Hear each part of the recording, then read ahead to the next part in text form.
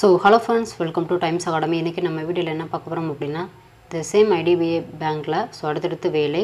Already நம்ம assistant மேனேஜருக்கு posting previous posting போட்டிருந்தோம். இது வந்து executive job so three hundred vacancy இருக்குது எந்த டிகிரி இருந்தாலும் தாராளமாக அப்ளை பண்ணுங்கள் ஸோ கம்ப்ளீட் டீட்டெயில்ஸ் பார்ப்போம். கடைசி வரையும் ஸ்கிப் பண்ணாமல் பாருங்கள் உங்களுக்கு இந்த வீடியோ ரொம்ப யூஸ்ஃபுல்லாக இருக்கும். அதுக்கு முன்னாடி இந்த மாதிரி லேட்டஸ்ட் ஜாப் நோட்டிஃபிகேஷனுக்கு நீங்கள் இன்னும் நம்ம சேனல் சப்ஸ்கிரைப் பண்ணாமல் இருந்தால் வீடியோக்கு கீழே உள்ள ரெட் கலர் சப்ஸ்கிரைப் பட்டனை சப்ஸ்கிரைப் பண்ணிக்கோங்க ஃப்ரெண்ட்ஸ் ஸோ அந்த டீட்டெயில்ஸ் பார்ப்போம்.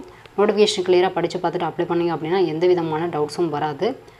ஸோ இது வந்து உங்களுக்கு லாஸ்ட் டேட் பார்த்தீங்கன்னா ஏப்ரல் பதினஞ்சாம் தேதி தான் லாஸ்ட் டேட்டு ஃபீஸ் பேமெண்ட்டுக்கும் ஸோ அதுதான் last date so posting already சொன்ன மாதிரி எக்ஸிக்யூட்டிவ்ஸ் ஆன் கான்ட்ராக்ட் பேசிக்ஸில் ஸோ இந்த போஸ்டிங் வந்து கான்ட்ராக்ட் பேசிஸில் தான் இருக்கும். இது எவ்வளோ வருடம் இது பர்மனெண்ட்டாக வாய்ப்பு இருக்காங்கிற டீட்டெயில்ஸும் கீழே போட்டிருக்காங்க. ஸோ அதுக்கப்புறம் நம்பர் ஆஃப் போஸ்டிங் பார்த்தீங்கன்னா த்ரீ ஹண்ட்ரட் போஸ்டிங் இருக்குது குவாலிஃபிகேஷன் பொறுத்தவரையா நீங்கள் ஒரு டிகிரி வச்சிருந்தாலே போதுமானது. மினிமம் வந்து ஐம்பது பர்சன்டேஜ் மார்க் இருக்கணும். இதே நீங்கள் எஸ்சி எஸ்டி டிசபிலிட்டி பர்சன் அப்படின்னா ஃபார்ட்டி ஃபைவ் பர்சன்டேஜ் போதுமானது. அதுக்கப்புறம் ஏஜ் ஸோ மினிமம் இருபது இருக்கணும் மேக்ஸிமம் இருபத்தி அஞ்சு வயசு இருக்கணும். இது வந்து ஏஜ் ரிலாக்ஸேஷனும் இருக்குது ஸோ அதனால் எஸ்சி எஸ்டி ஓபிசியை பொறுத்தவரையா disability person ex serviceman so அவங்களுக்கு வந்து இவ்வளோ ஏஜ் ரிலாக்ஸேஷன் கொடுத்துருக்காங்க. அந்த டீட்டெயில்ஸும் கீழே இருக்குது ஸோ அதுவும் பார்ப்போம். இவங்களுக்கு ஆன்லைன் எக்ஸாமினேஷன் வந்து தற்காலிகமான தேதி இப்போதைக்கு மே பதினாறு கொடுத்துருக்காங்க.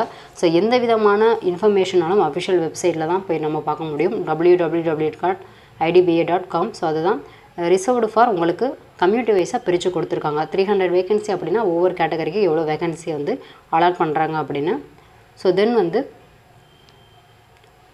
ஸோ இதில் இம்பார்ட்டன்ட் டேட்ஸ் கொடுத்துருக்காங்க. அதாவது மேக்ஸிமம் ஏஜ் வந்து இருபத்தி அஞ்சு வயசு தான் கொடுத்துருக்காங்க.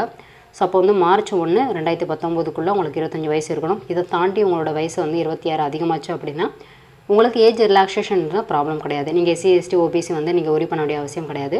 ஆன்லைன் ரெஜிஸ்ட்ரேஷன் அப்ளிகேஷன் லிங்க் வந்து சீக்கிரமே ஓப்பன் ஆகும் சொல்லியிருக்காங்க. நீங்கள் செக் பண்ணி பாருங்கள் இல்லாட்டி ஒரு டூ டேஸ்க்குள்ளே கண்டிப்பாக ஓப்பன் ஆயிரும்.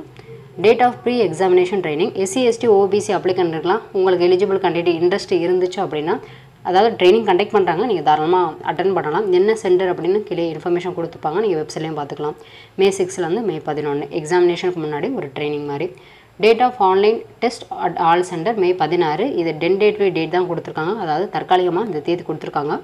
இது பெர்மனண்ட் தேதி அப்படின்னா நம்ம அஃபிஷியல் வெப்சைட்லேயே போய் செக் பண்ணிக்கலாம். என்ன அப்படின்னு? இல்லை நம்மளுக்கு அப்ளை பண்ணும்போது நம்மளோட இமெயில் ஐடி மொபைல் நம்பர் கொடுத்துருப்போம். ஸோ அவங்களுக்கும் நம்மளோட கம்யூனிகேஷன் டீட்டெயில்ஸ்லாம் வரும். அதிலே நம்மளுக்கு வந்து செக் பண்ணிக்கலாம்.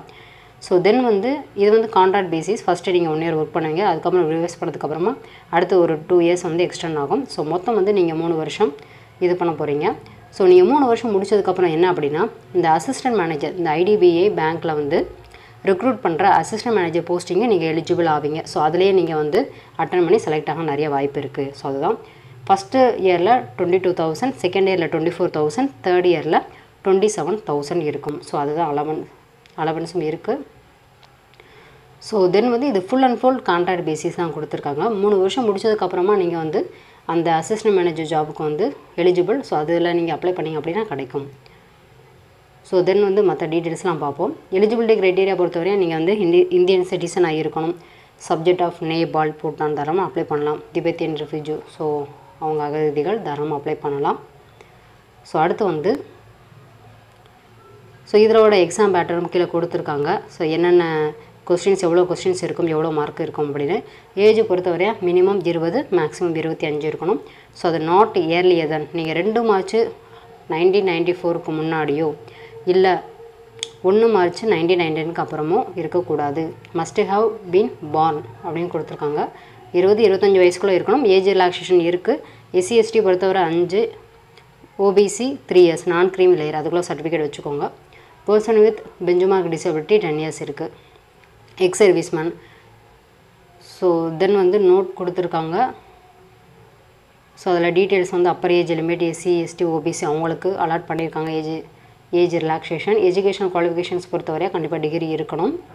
ஸோ தென் வந்து ஆல்ரெடி சொன்ன மாதிரி ஐம்பது பர்சன்டேஜ் மார்க்கு ஜென்ரல் மற்றவங்க எஸ்சி எஸ்டி பிடபிள்யூடிலாம் நாற்பத்தஞ்சு பர்சன்டேஜ் இருந்தாலே போதுமானது. உங்களுக்கு mark sheet valid mark sheet degree certificate so then வந்து நீங்கள் அப்ளிகேஷன் ஃபார்ம் ஃபில் பண்ணும்போது அது எல்லாமே என்ட்ரு பண்ணணும். பெர்சன்டேஜாக தான் என்ட்ரு பண்ணணும். கிரேடாக என்ட்ரு பண்ண முடியாது.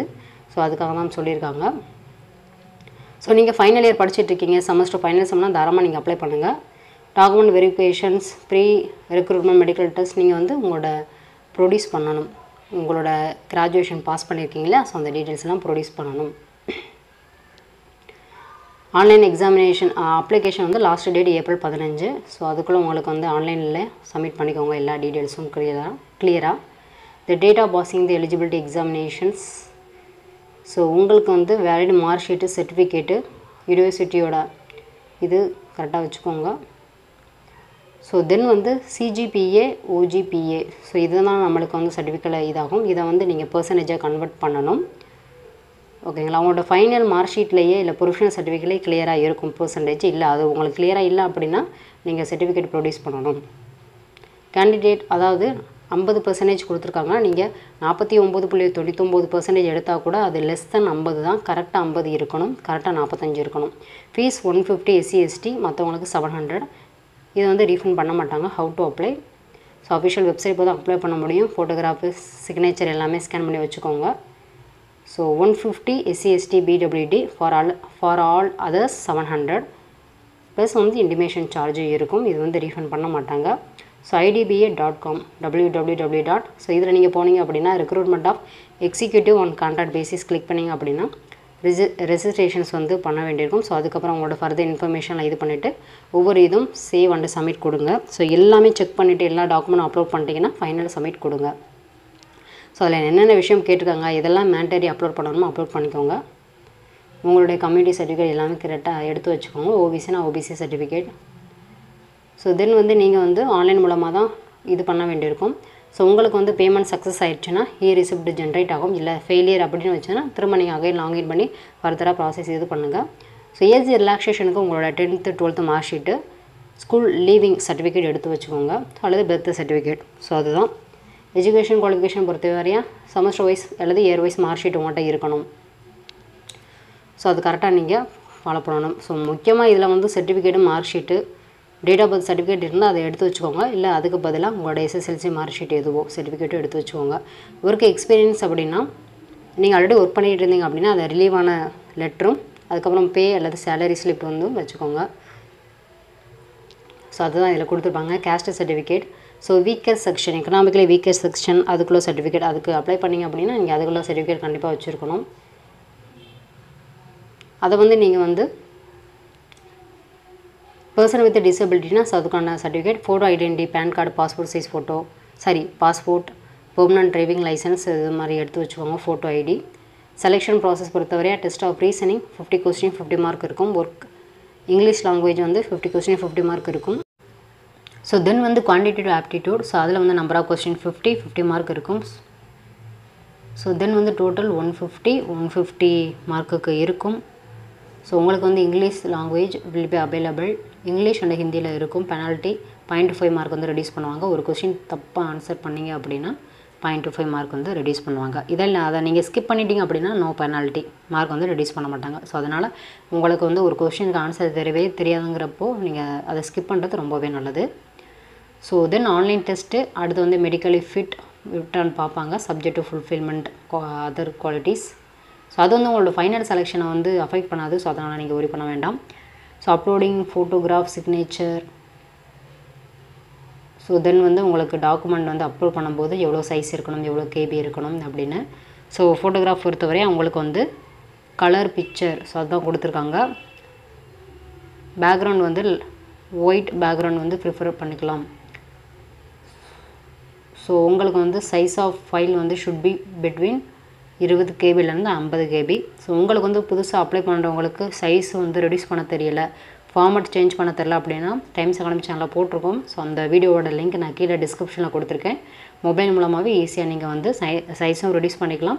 அட் த சேம் டைம் உங்கள் ஃபார்மட்டும் சேஞ்ச் பண்ணிக்கலாம். ஃபார்மட் சேஞ்ச் பண்ணுறது வந்து இந்த ஜேபக் சேபிஜி ஃபார்மட்டில் தான் இது பண்ணணும்னு சொல்லுவாங்க. ஸோ அதனால தான் scanning the photograph signature so அது என்ன சைஸில் இருக்கணும் அப்படின்னு the image file should be JPEG and JPG so இது இல்லது இது நீங்கள் தாராளமாக எதுனாலும் ஃபார்மெட் சேஞ்ச் பண்ணி இது பண்ணிக்கலாம்.